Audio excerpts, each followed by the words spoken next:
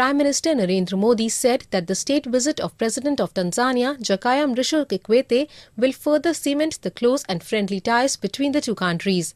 Prime Minister took to Twitter to welcome President Kikwete and First Lady Salma Kikwete. I welcome President J.M. Kikwete of Tanzania and Mama Salma Kikwete to India.